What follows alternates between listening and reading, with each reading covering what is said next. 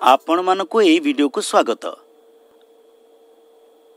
ଆମେ ଗତ ଭିଡ଼ିଓରେ ଗୋଟିଏ ମୁଦ୍ରା ଓ ଦୁଇଟି ମୁଦ୍ରାରୁ ମିଳୁଥିବା ସମ୍ଭାବ୍ୟତା ଉପରେ ଆଧାରିତ ଉଦାହରଣର ଚର୍ଚ୍ଚା କରିଥିଲେ।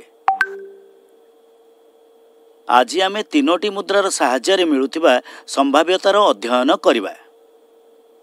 ଯେମିତିକି ଆମେ ଗତ ଭିଡ଼ିଓରେ ଦେଖିଥିଲୁ ଦୁଇଟି ମୁଦ୍ରାରୁ ମିଳୁଥିବା ସମ୍ଭାବ୍ୟତାରୁ ମନୁ ଭିଡ଼ିଓ ଗେମ୍ ଖେଳିବା ଆରମ୍ଭ କରିବାକୁ ଚାହୁଁଥିଲେ କିନ୍ତୁ ନମନ ସେହି କଥାରେ ଖୁସି ନଥିଲେ ଏବଂ ତିନୋଟି ମୁଦ୍ରା ଉପରେ ଚର୍ଚ୍ଚା କରିବାକୁ କହିଥିଲେ। ଆସନ୍ତୁ ଏହି ଚର୍ଚ୍ଚାକୁ ଆଗକୁ ବଢ଼ାଇବା। ଏଠାରେ ନମନ ତିନୋଟି ମୁଦ୍ରାର ସାହାଯ୍ୟ ନେଇ କହିଛନ୍ତି ଠିକ୍ ଦୁଇଟି ହେଡ୍ ଏବଂ ଗୋଟିଏ ଟେଲ୍ ଆସିଲେ ଖେଳର ଆରମ୍ଭ ସେ କରିବେ। କିନ୍ତୁ ମନୁ କୁହନ୍ତି ଠିକ୍ ତିନୋଟି ହେଡ୍ ଏକା ସାଙ୍ଗରେ ଆସିଲେ ମୁଁ ଖେଳିବି ଏବେ ସଚିନ କହନ୍ତି ଠିକ୍ ତିନୋଟି ଟେଲ୍ ଏକା ସାଙ୍ଗରେ ଆସିଲେ ମୁଁ ଖେଳିବି। ତେବେ ଆପଣ ଏହି ପରିସ୍ଥିତିରେ ଘଟଣାର ଅନୁକୂଳ ସର୍ବାଧିକ ସମ୍ଭାବ୍ୟତା ବାହାର କରି କହିପାରିବେ କି? ଖେଳର ଆରମ୍ଭ କିଏ କରିପାରନ୍ତି? ଏଠାରେ ଆପଣ ଦେଖିପାରିବେ ଯେ ତିନୋଟି ମୁଦ୍ରାକୁ ଏକା ସାଙ୍ଗରେ ଟସ୍ କଲେ କେତେକ ଫଳାଫଳ ମିଳୁଅଛି। ତେବେ ଆସନ୍ତୁ ପ୍ରଥମେ ଏହିସବୁ ଫଳାଫଳ ଲେଖିନେବା। ପ୍ରଥମ ମୁଦ୍ରାର ହେଡ୍ ଦ୍ୱିତୀୟ ମୁଦ୍ରାର ହେଡ୍ ତୃତୀୟ ମୁଦ୍ରାର ମଧ୍ୟ ହେଡ୍ ପ୍ରଥମ ମୁଦ୍ରାର ହେଡ୍ ଦ୍ୱିତୀୟ ମୁଦ୍ରାର ହେଡ୍ ତୃତୀୟ ମୁଦ୍ରାର ଟେଲ୍ ପ୍ରଥମ ମୁଦ୍ରାର ହେଡ୍ ଦ୍ୱିତୀୟ ମୁଦ୍ରାର ଟେଲ୍ ତୃତୀୟ ମୁଦ୍ରାର ହେଡ୍ ପ୍ରଥମ ମୁଦ୍ରାର ହେଡ୍ ଦ୍ୱିତୀୟ ମୁଦ୍ରାର ଟେଲ୍ ତୃତୀୟ ମୁଦ୍ରାର ଟେଲ୍ ପ୍ରଥମ ମୁଦ୍ରାର ଟେଲ୍ ଦ୍ୱିତୀୟ ମୁଦ୍ରାର ହେଡ୍ ତୃତୀୟ ମୁଦ୍ରାର ହେଡ୍ ପ୍ରଥମ ମୁଦ୍ରାର ଟେଲ୍ ଦ୍ୱିତୀୟ ମୁଦ୍ରାର ହେଡ୍ ତୃତୀୟ ମୁଦ୍ରାର ଟେଲ୍। ପ୍ରଥମ ମୁଦ୍ରାର ଟେଲ୍ ଦ୍ୱିତୀୟ ମୁଦ୍ରାର ଟେଲ୍ ତୃତୀୟ ମୁଦ୍ରାର ହେଡ୍।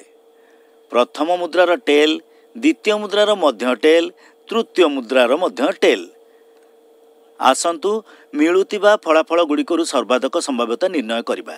ସମ୍ଭାବ୍ୟତାର ସୂତ୍ରରେ ଘଟଣାର ଅନୁକୂଳ ଫଳାଫଳ ଗୁଡ଼ିକର ସଂଖ୍ୟା ଏବଂ ସମୁଦାୟ ସମ୍ଭାବ୍ୟ ଫଳାଫଳ ଗୁଡ଼ିକର ସଂଖ୍ୟାର ମୂଲ୍ୟ ସ୍ଥାପନ କଲେ। ଯେଉଁଠି ଠିକ୍ ଦୁଇଟି ହେଡ୍ ଏବଂ ଗୋଟିଏ ଟେଲ୍ ଆସିବାର ସମୁଦାୟ ତିନୋଟି ଫଳାଫଳ ହେଉଛି head head tail head tail head ଏବଂ ଟେଲ୍ ହେଡ୍ ହେଡ୍। ଯାହାର ସମ୍ଭାବ୍ୟତା ତିନି ବିଭକ୍ତ ଆଠ ହେବ। ଯେତେବେଳେ ଏକା ସାଙ୍ଗରେ ତିନୋଟି ହେଡ୍ ଆସିବାର ସମୁଦାୟ ଫଳାଫଳ ଗୁଡ଼ିକର ସଂଖ୍ୟା କେବଳ ଏକ ଏଣୁ ଏହାର ସମ୍ଭାବ୍ୟତା ଏକ ବିଭକ୍ତ ଆଠ ହେବ। ତଥା ଏହିଭଳି ଏକା ସାଙ୍ଗରେ ତିନୋଟି ଟେଲ୍ ଆସିବାର ଫଳାଫଳ ଗୁଡ଼ିକର ସଂଖ୍ୟା ମଧ୍ୟ କେବଳ ଏକ ଯେଉଁଠି ସମ୍ଭାବ୍ୟତା ଏକ ବିଭକ୍ତ ଆଠ ହେବ। ଯାହାଦ୍ୱାରା ଆମେ କହିପାରିବା ଯେ ଏଠାରେ ସବୁଠାରୁ ଅଧିକ ସମ୍ଭାବ୍ୟତା ଠିକ୍ ଦୁଇଟି ହେଡ୍ ଏବଂ ଗୋଟିଏ ଟେଲ୍ରେ ହେବ। ଏଥିପାଇଁ ନମନଙ୍କର ଖେଳ ଆରମ୍ଭ କରିବାର ସର୍ବାଧିକ ଚାନ୍ସେସ୍ ଅଛି। ଆସନ୍ତୁ ସମ୍ଭାବ୍ୟତାକୁ ଅନ୍ୟ ଏକ ଉଦାହରଣ ଦ୍ୱାରା ବୁଝିବାର ପ୍ରୟାସ କରିବା। ଯଦି ତିନୋଟି ମୁଦ୍ରାକୁ ଏକା ସାଙ୍ଗରେ ଟସ୍ କରାଯାଏ ତେବେ ଆପଣ ଅଧିକରୁ ଅଧିକ ଦୁଇଟି ଟେଲ୍ ଆସିବାର ସମ୍ଭାବ୍ୟତା ପାଇପାରିବେ। ଯେପରିକି ଆମେ ଜାଣିଛେ ଯେ ତିନୋଟି ମୁଦ୍ରାକୁ ଏକା ସାଙ୍ଗରେ ଟସ୍ କଲେ ନିମ୍ନ ଫଳାଫଳ ମିଳେ।